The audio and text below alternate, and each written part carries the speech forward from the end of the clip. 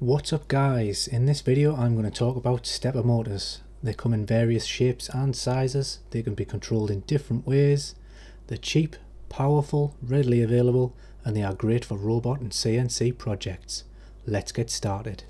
Stepper motors come in three main flavours. Permanent magnet stepper motors, variable reluctance stepper motors and hybrid synchronous stepper motors and they all have one thing in common, they move in steps. Unlike a traditional DC motor that runs while voltage is applied, stepper motors move in discrete steps. To try and illustrate how they work, I have lots of graphics, and I'll take a hybrid synchronous stepper motor apart so we can see how it's actually made. I'll even run it half assembled, show the effect of running it at different current values, and how much force it can produce, and more. Let's look at a permanent magnet stepper motor first. In this cross-section view we have a stator with two coils connected in series. We'll call these coils phase A. If we apply a voltage to phase A with the positive potential on connection A1, then we'll create a magnetic field. If we reverse the voltage applied, we create an opposite magnetic field. Now let's add some more phases. Phase B, Phase C and Phase D. Altogether we have four phases. To keep things clear, I'm going to omit these connections because they are just in the way. Now let's look at our rotor. We have a permanent magnet. In order to get the rotor to move, we are going to energise the phases in turn.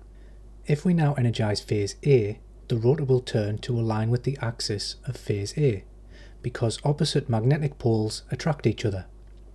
By doing this we can see the motor has moved 45 degrees. For this motor one step is 45 degrees. And now while we continue to apply power to phase A the rotor remains in position. If we turn off phase A and energise phase B the rotor again moves 45 degrees. We can do this again with phase C and with phase D. In order to continue to rotate, we need to energize phase A in reverse polarity. And again, we can do the same for phase B, C and D. Altogether, it takes 8 steps to complete one rotation. If we wanted to run the motor the opposite way, we simply perform the steps in reverse. So if we stopped here on step 5 and energized phase D with positive on D1 the rotor would turn one step counterclockwise. We can improve this by energizing two phases at once and drive the stepper in full step mode. In this mode the motor will be able to produce its full rated torque. To do this, we start by energizing phase A and B with positive potential on A1 and B1. Now notice that the rotor aligns with the axis centered between the two phases. For each step we still only turn off one phase and turn on one phase. Phase B remains energized and now we energize phase C. Notice that the rotor has still turned 45 degrees for one step. We have not gained or lost any resolution, but we have gained motive power as the combined magnetic fields of two phases is stronger. Now we just turn each successive phase on in turn exactly like we did for wave mode and our permanent magnet stepper motor works in full step mode. But there's one key piece of information missing. For each of the last examples I told you where the stepper motor would start, but in reality these motors have no feedback, so how do we know where they are? Well, we need to count the steps from a known location because the stepper motor doesn't have an encoder or anything to let us know where it is. There's no feedback at all. That's why on most 3D printers you will see these end stop switches.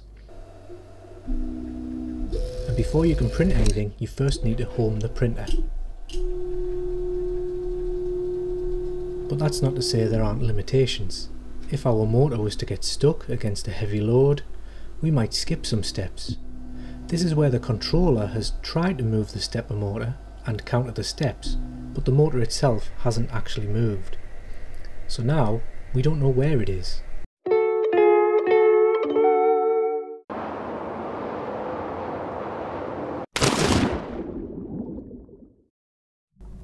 And the only way to recover from this would be to drive it back to a known location.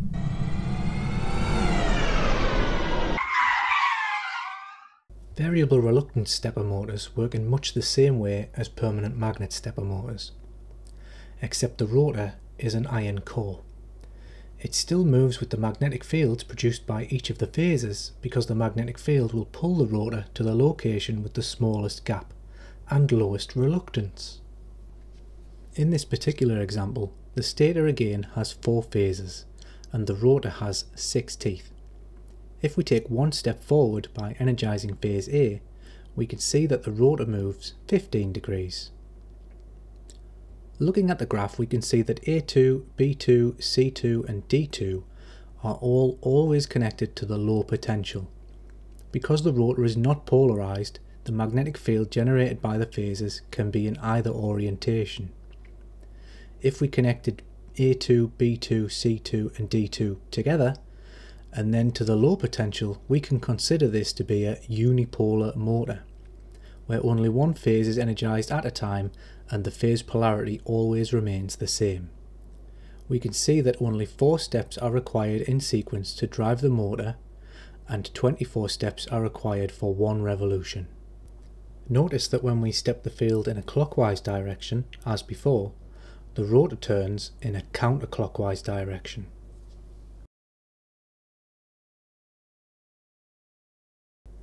Now, for a hybrid synchronous stepper motor, this is a hybrid of the previous two. The rotor has the teeth of the variable reluctance motor and a permanent magnet. The rotor might look a little confusing as it's just one big north pole. I'll take a motor apart and explain it more in a moment. This time we only have two phases, and each phase has four coils, connected in series. This is phase A, Notice that the coils alternate which direction they are wound. This one is wound from outside to inside, and this one from inside to outside, and so on. This makes more sense when we look at the phase in an energized state. We can see that it produces four alternating magnetic poles, north, south, north, south. And if we change the polarity of our applied potential, like the other motors, the magnetic poles change. Here is phase B, and here are the two phases together. Let's disassemble a hybrid synchronous motor and try to understand what is going on here.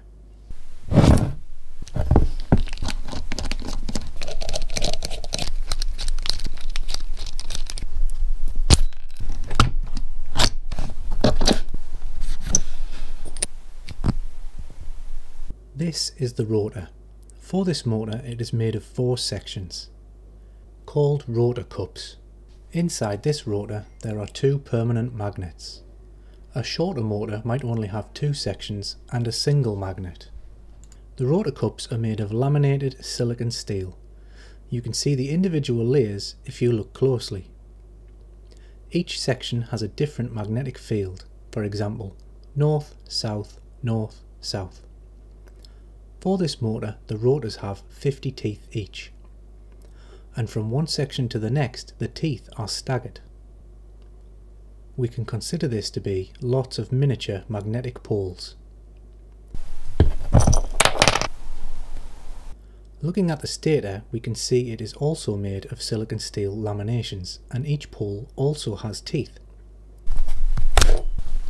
Removing the base of the motor, there is a plastic insulator to prevent the circuit connections from shorting to the body of the motor. And here we have the connections to our phases from a plug on the outside of the motor. Notice there are 6 pins, but only 4 actual connections. This board is likely used in other motor configurations. These would be our phase A connections, and these would be our phase B connections. Now let's half assemble this and compare it to our diagram. If we zoom in, we can see how the teeth of the rotor compare to the teeth of the stator. Let's assume that both phases are energized with positive potential from A1 and B1. We can see that the top rotor cup teeth are out of alignment with the north poles generated in the stator by our phases. Looking at the south poles generated in the stator, we can see the teeth are aligned, much like our variable reluctance stepper motor. Let's step the motor forward and see what happens. The rotor has moved 1.8 degrees, one step. But the rotor has 50 teeth, so how have we only moved 1 200th of a revolution? Notice that the stator has 6 teeth per pole and 8 poles for a total of 48 teeth. But there are gaps between the poles. This misalignment of the teeth between the rotor and stator contributes to the high resolution of the motor. It takes 4 steps to move one complete tooth. To turn the rotor one turn, we need to repeat these 4 steps 50 times, once for each tooth. Hybrid synchronous stepper motors have greater torque than other stepper motors and they typically have shorter step angles. Now we can see this with a half assembled motor. Here I am stepping the motor forward one step at a time and we can see the motor mimicking our diagram.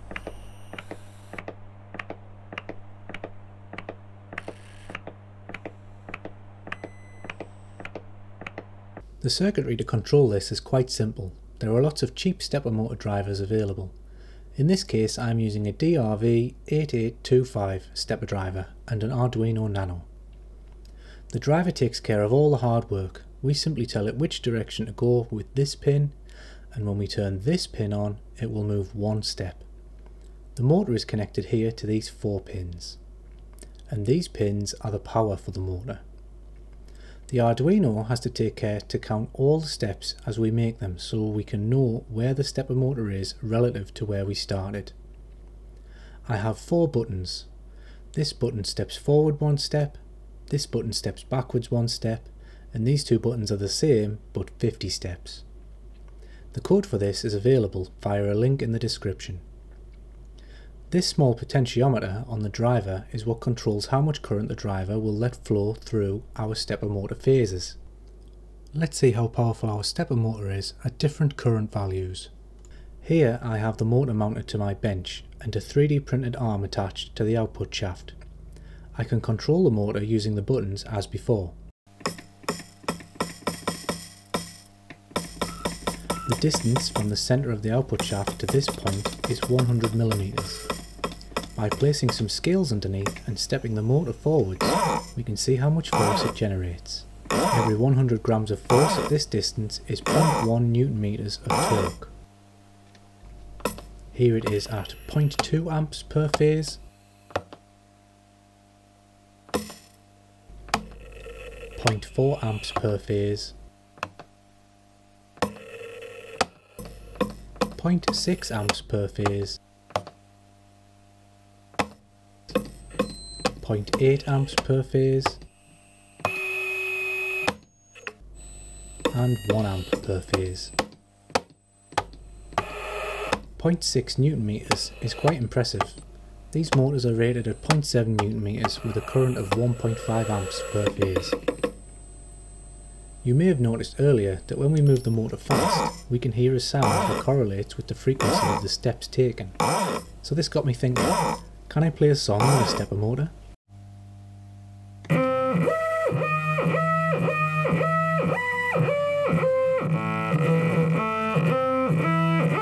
That actually sounds pretty decent, and because it's actually stepping precise amounts, the Arduino always knows exactly how many steps it is away from where it started.